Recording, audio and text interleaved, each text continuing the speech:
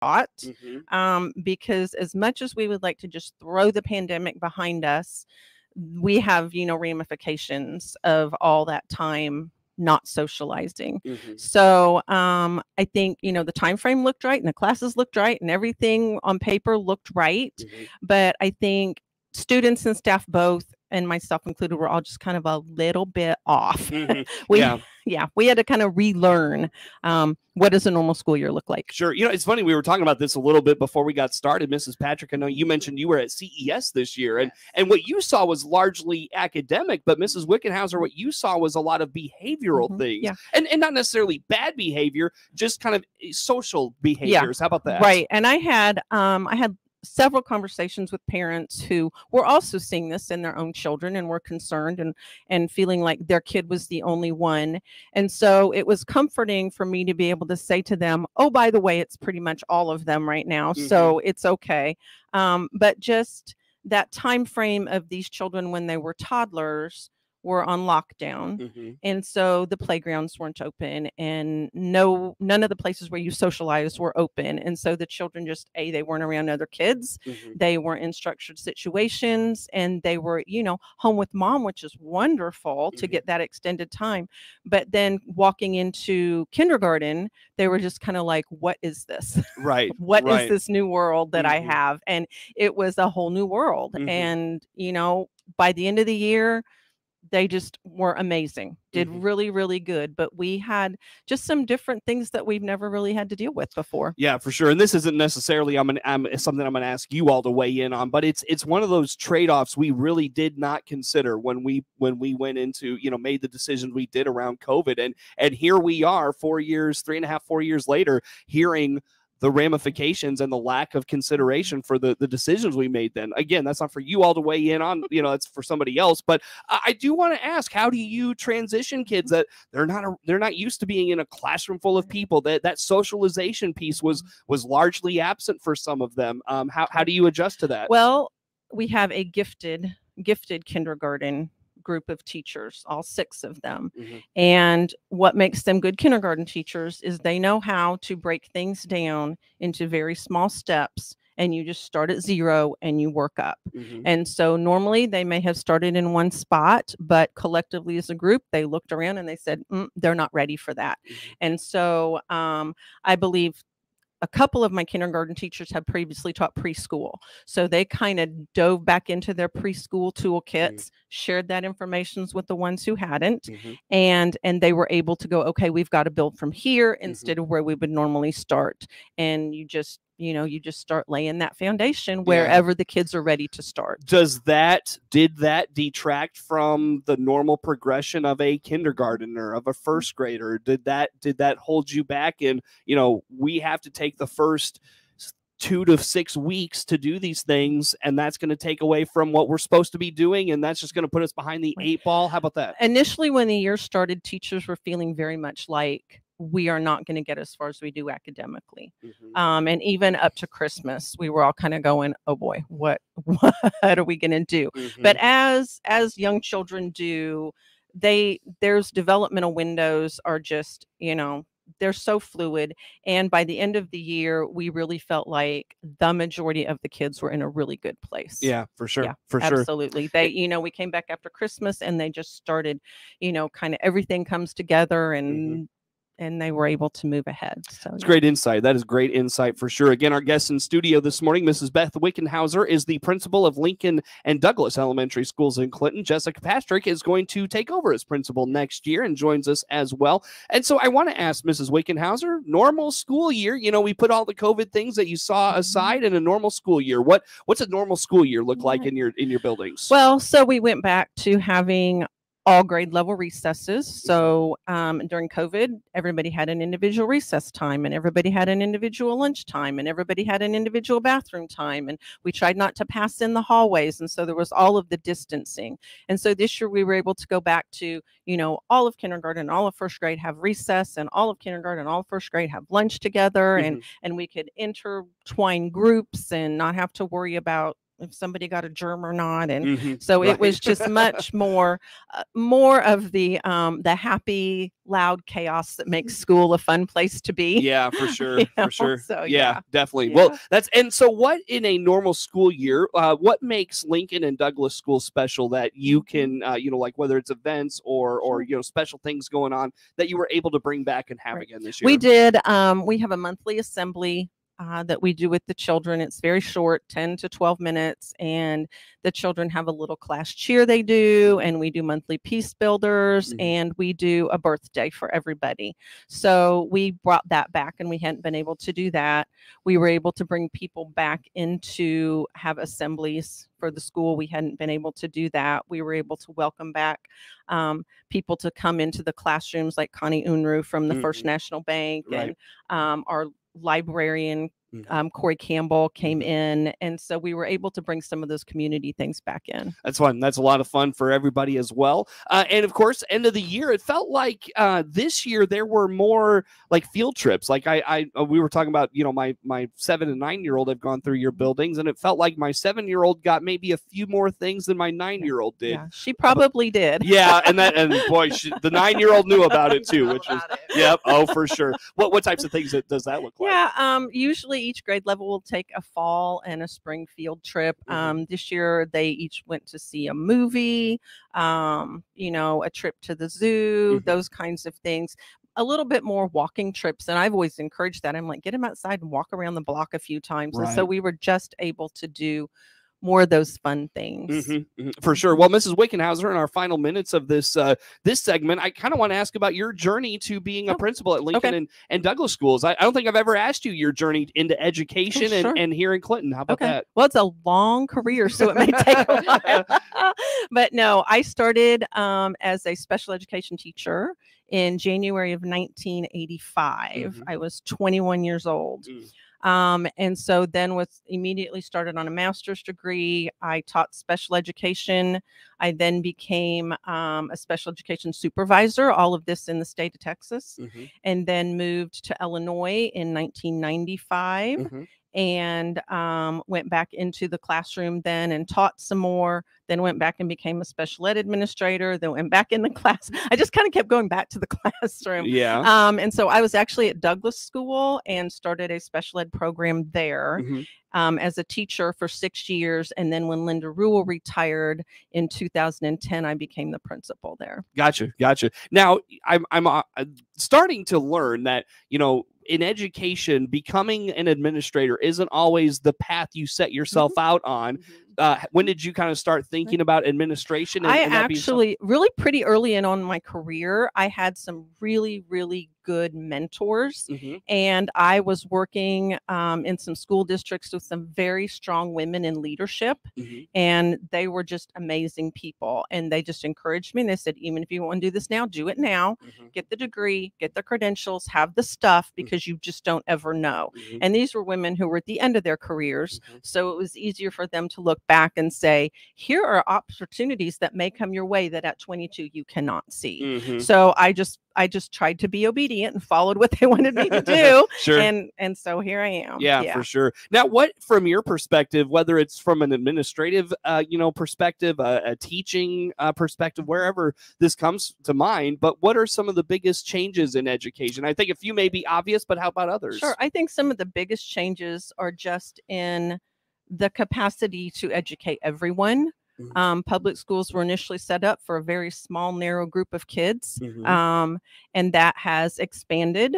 I, of course, me being a special ed person, I feel like it hasn't expanded as quick as it should, but um, I feel like that our our teachers who aren't specialists are coming out of college with better training Mm. to be able to go, hey, I'm going to have a really broad range of kids in my group, Mhm. and I need to be able to meet from A to Z, yeah. not just that group that's kind of in the middle. right. And so I feel like our teachers that are coming out come out knowing that they're just going to have a really interesting group of diverse children in their rooms Yeah, and they're yeah. ready for that.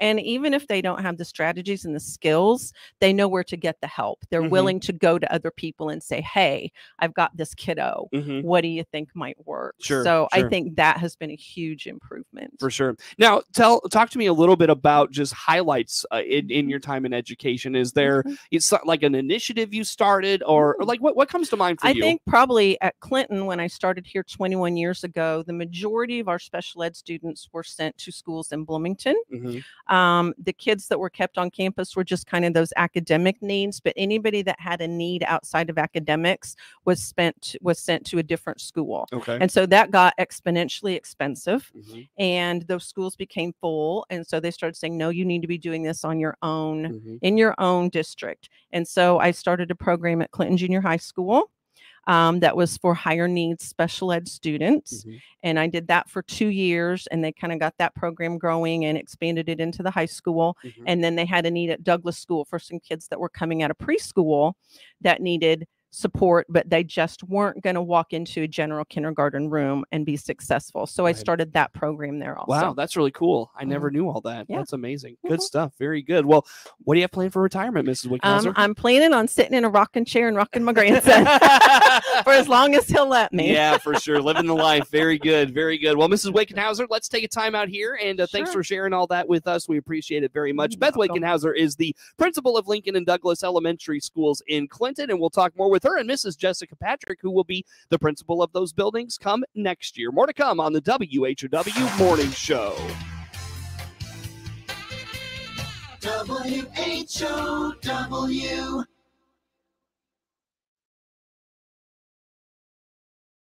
Your own home without the maintenance. If you're 55 or better, a beautiful Liberty Village villa could be yours. This is Erin, and I invite you to come take a tour of our move in ready villa. Click the Liberty Village icon at DeWittDailyNews.com. Simply the finest.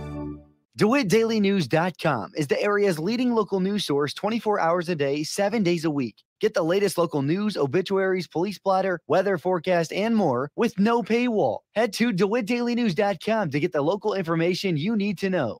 Allergy season is here, and that means sneezes, sniffles, headaches, and all that goes with it. CEO Paul Scowen here from Warner Hospital and Health Services, here with a way to get relief. Come to our walk in clinic inside our Family Medicine Center. We'll treat those allergies that you have sneezing, blowing your nose, and just making you miserable. No appointment? No problem. Come to our walk in clinic inside our Family Medicine Center at Warner Hospital in Clinton and get better fast. More than 80 million Americans depend on AM radio for their news, weather, sports, and a community connection.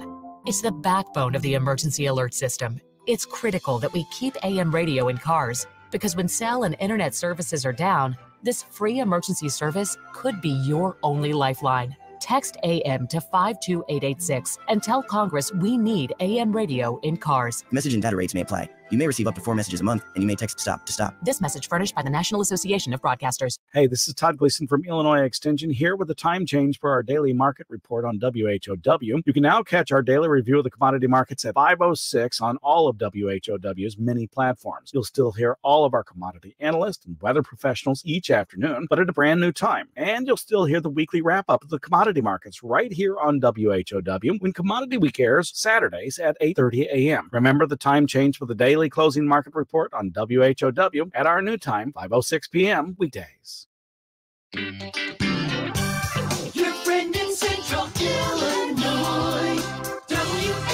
Once again, a good morning. Thanks for being with us. I'm your host today, Seth Lawrence. And again, the morning show streams to Facebook and YouTube, brought to you by Peterson Insurance, your Pekin Insurance agent in Clinton. Mrs. Beth Wickenhauser is the principal of Lincoln and Douglas Schools, and Mrs. Jessica Patrick will take over her role when Mrs. Wickenhauser retires here in a few weeks. And so, Mrs. Patrick, first of all, thanks again for making time for us today. Tell us a little bit about yourself and your journey to uh, Clinton. Uh, thank you for having me. Um, so the journey to Clinton was kind of a shock. It was a little bit of surprise, not something that was in the long-term plan, Mhm. but it's kind of a happy accident. Mhm. So I actually started my career in Maroa Forsyth. I soon taught there after graduating from Millikin. Mhm. Um, and then I was kind of the student teacher that never left. and then I hopped around for a few years until I figured out what I wanted to teach. Mhm. Um, so I taught kindergarten for a year. I spent three years in third grade, three years in fifth grade, and I loved it all. Mhm. And then before I left the district, I was an intervention specialist, Okay. pretty much a reading specialist. Yeah. Um, so earlier when you were talking about the kiddos coming in after a few years of the pandemic and things like that, um, so I was working with a lot of kindergarten first graders that had never really been in a school setting. Yeah. So I did that for a couple of years and absolutely loved it. Mhm. Um, and then the path to administration was something I also didn't see coming. And I met Mr. Nettles last year Mhm. about this time. And I had previously known Drew Goebel Yeah. and Jim Peck. Mhm. And I just decided I think these are the people that I would love to work with, the Mhm. place that I would like to be. Uh huh. Sure. So everything just kind of fell into place. And I Mhm. taught fifth grade this year. Mhm. They gave me an opportunity to apply for Beth's job. And Mhm. Here we are. You know, and I don't I don't want to speak out of school, but I know that there was an opportunity you had sought in the district last year and Mm-hmm. and that didn't come to fruition, but efforts were made to say we want you here. Do you, do you mind speaking to that? Sure, of course. So I had just finished my uh, admin deg- degree and program about this time last year, and I was encouraged to apply for the junior high assistant principal position. Mhm. Um, even though I am not a middle school person, that was not my realm, and I wasn't even sure I wanted to be an assistant principal, to be honest with you. Mhm. Um, but I went to the interview, and I'm so glad that I did. It was the longest interview I think I've ever had in my life but it was a fantastic conversation and i Yeah. walked out of the high school library just thinking this is the place where i need to be these are the Mm. people that i need to be with um Mhm.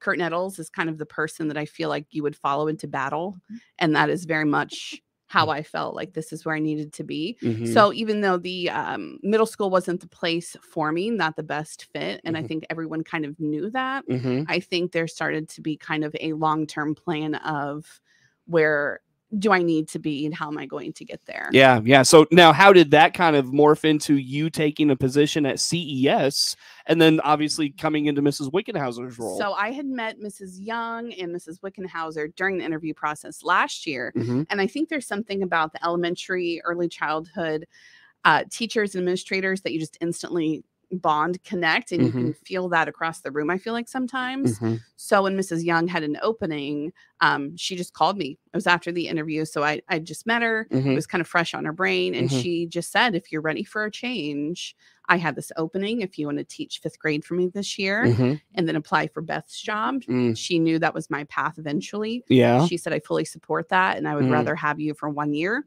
Mm. than not have you at all. That's really cool. What did you think about that? I was terrified because I, this conversation happened less than two weeks before school started. uh huh. So I had really no intention of making a big change like Mm, that. Wow. Um, and this change would also be a change for my daughter who was Mhm. going into second grade. yeah. And she has always kind of gone to the school where I'm teaching. We Mhm. do this together. So I got off the phone with Mrs. Young. Um, my husband said to me, I don't know what that conversation was about, but just judging from the look on your face, say yes. oh, really? this opportunity. Oh, wow. That's really Um, cool. And I talked with my daughter and I said, if we do this, we do this together. Mhm. She said, let's do it. Wow. That's really neat. So Yeah. So, talk about your thoughts on and feelings on jumping into an administrative uh, role here in a few weeks. so that was also kind of a new thing for me so growing up i i didn't never wanted to become a principal i didn't even Mhm. know what a principal does i Mhm. had always wanted to be a teacher um, i knew in third grade when i had mrs donaldson who was Mhm. at ces Man. that i i wanted to be a teacher hmm uh, being an administrator that actually came up probably during the pandemic um, and i had started the a leadership program through eiu Mhm. just um, i was starting to become a little more drawn to leadership roles Mm. not necessarily admin but Mhm. just leadership i liked helping hmm and participating in heavy discussions in the district Mhm. and being part of change hmm um, but as I was going through the program, and like Beth had said, you start to realize how inspirational other people are that are in these roles, Mhm. and you see them doing it, and you kind of think, I like this work. I think maybe I want to do this too. For sure. For sure. And then, like I said, I, I met the right people here, I Mhm. think. hmm And So, this is kind of this is kind of a broad, big question. Uh-huh. What What are you all about in the in the classroom and with the kids and all that stuff? Um, when I taught in the classroom, my kids nicknamed me Mrs. Book Pusher. Mhm. They that is my Instagram handle is Mrs. Book Pusher because they knew that my life goal was my kids were going to leave my classroom with a book that they love. Mhm. Um, that was my goal was to find their favorite book. Mhm. So I'm a huge advocate for literacy, Mhm. um, reader engagement, getting families involved, Mhm. um, any kind of events that are going to support that, getting Mhm. books in kids' hands, getting books in their homes. That's probably my one um, non-negotiable is Mhm. we need to have students that become readers. That's cool. because awesome. they want to become a reader. Yeah, for sure, for sure. Well, ladies, hate to do this to you. I have to let us go. Enjoy your summer, Mrs. Mm-hmm. Patrick. I can't wait to get to know you. Thank you so much. Absolutely, Mrs. Wickenhauser. Enjoy that grandbaby. awesome. That is Mrs. Beth Wickenhauser and Mrs. Jessica Patrick Clinton as Lincoln and Douglas Elementary Schools. Our guest in studio. The morning show streams to Facebook and YouTube. It's brought to you by Peterson Insurance, your Pekin Insurance agent in Clinton. Of course, we stream live online all the time at DeWittDailyNews.com. Network news on the way on the morning show.